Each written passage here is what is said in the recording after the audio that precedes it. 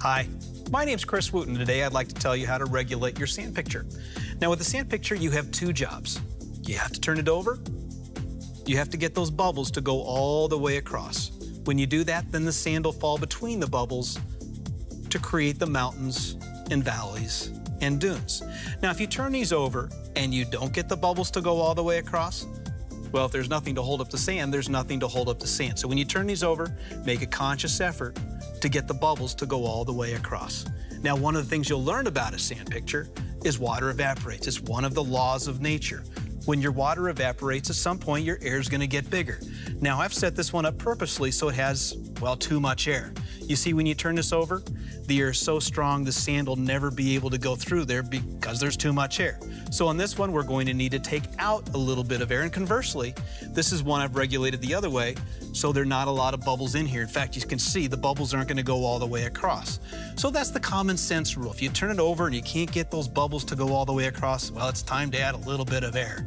And what's going to happen more frequently when the water evaporates, your air is going to get bigger. The sand's not going to be able to go through because there's too much air. So you'll see here, there's an air hole here. There's an air hole here. Most of our sand pictures come with at least two air holes. Now let me show you this. This is the injector. This comes with every sand picture you purchase. It has a blunt needle. So if we want to add air, so I've added air into the injector, and I'm gonna put it into the air hole. Now if I need to add air, that's how I, that's a lot of air. I'm never gonna, the sand's never gonna go through with that much air. So I'm gonna take out a little bit of air. Oops, I took out too much air, and I never take out water. That's how you add air. That's how you take out air. What you wanna do is get enough air so that all the bubbles are going all the way across. Well, the first time you do that, that might be difficult. This is the air scale. Every sand picture you purchase comes with an air scale. So on here, you'll notice all of the different sand pictures that we offer. Now I'm holding the horizon, so I'm only gonna look for the horizon line. That's the top line here on the air scale. What I'm gonna do is put this into the pitcher. Now do you see all the different lines as you go down here? I wanna point this towards the ceiling. If I need to add air, that's how I add air. If I need to take out air, that's how I take out air. Now putting the air scale right to where the glass meets the wood, I want to see, so this is my line right here that I'm aiming for. That's too much air. That's not enough air. What I want to do is put the water line directly on that horizon line. And when I do, I take it out, I turn it over, I get my bubbles to go all the way across. At that point, the sand falls between the bubbles to create the mountains and valleys and dunes.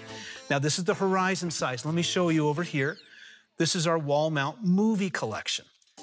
You'll see this one right here, the sand's not moving. Now I started creating a great little pattern down there on the bottom, but at some point the too much air got to be too much air and the sand couldn't go through. So I'm gonna show you on this one right here. Do you see that there's an air hole here? Now it has an air hole over here, right next to the KB signature. If we want to add air, now it's the same deal. If you need to add air, that's how you add air. Okay, that's a lot of air. We're gonna take out a little bit of air. That's how you take out air. Now again, I'm gonna show this to you. We are going to go with the movie small, which is this piece right here.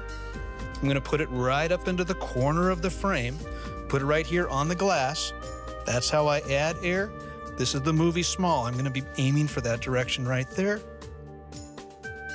I want my water line right on that line right there. Now this is the wall mount movie. One of the fun things with this, it comes with the wall mount. We give you the screws, we give you the drywall anchors, the swivel's pre-attached.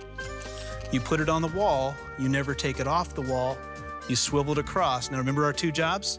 You get the bubbles to go all the way across. At that point, the sand is gonna fall between the bubbles to create the mountains and valleys and dunes. Lastly, let me show you our screening. Screening's nice. It has four different holes. This is the easiest of all the ones to regulate because of the four different holes. Same, same. If you need to add air, and I'm gonna add the air first on this one. That's how you add the air. On the screening, you'll notice right here at the very top is the screening line. Now it's got a cutaway, so you can cut away if you want to. I don't think you need to. You put it right up into the corner so it configures with the frame. Oh, I've got a lot too much air there. There we go. And when we're done, we turn it over and we enjoy our sand picture. Now, a sand picture is going to need to be regulated, maybe every seven to 10 days, depending on different variables. The key thing is look at the bubbles. If you get the bubbles to go all the way across, so it's creating the mountains, the valleys, and the dunes, you're gonna be loving your sand picture. Thanks so much for taking the time to listen to this video, and have a nice day.